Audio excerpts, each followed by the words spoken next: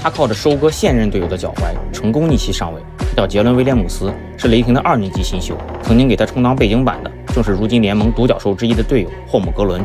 时间拉回到二零二二年二月的大学赛场，一位身披二十四号的球员，连续两场比赛都终结了当时热门状元霍姆格伦的脚踝，引得观众陷入沸腾。原本前来考察霍姆格伦的 NBA 球探们，立刻被这个二十四号所吸引。他便是直到大三还籍籍无名的威廉姆斯。在这之前，并没有人意识到两人日后能相提并论。霍姆格伦凭借十六岁时对库里的遮天火锅与双手暴扣，早已火遍全网。后来在国际赛场力压文班亚马拿到 MVP，更让自己大一便成为2022届选秀的状元大热。而威廉姆斯所在的圣塔克拉拉大学水平实在有限，常年无缘分区联赛的季后赛。上一次出 NBA 球员还要追溯到九六年的风之子纳什。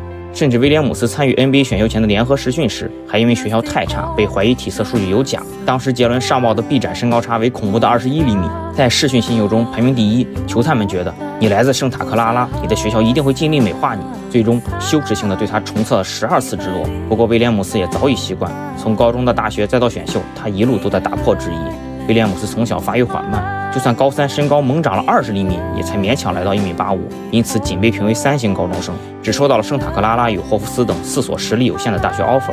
然而大一还没结束，新冠的肆虐就让大学篮球一度停滞。当时球队在酒店住了两个多月，限时使用附近球馆。好在杰伦足够自律，想尽一切办法蹭不同队伍的时段，在没有教练监督、没有比赛的停滞期，依然进步神速。全面复赛后，竟然一跃成为球队最出色的球员。助教路德维希兴奋地给同行打电话：“圣塔克拉拉可能又要迎来一位 NBA 球员了。”大二休赛期，威廉姆斯在教练组的要求下开始增重，并且只出手 NBA 距离的三分球，为了选秀做冲刺。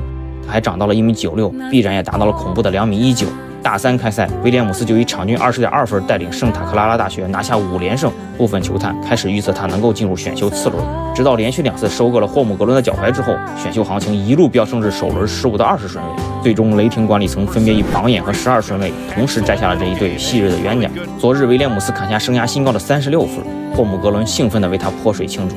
再加上雷霆新王亚历山大，他们三人像极了十一年前就刮起的那股青春雷暴。希望这一次雷霆管理层可以好好留住三少，别再让故事只能在如果的假设中发生了。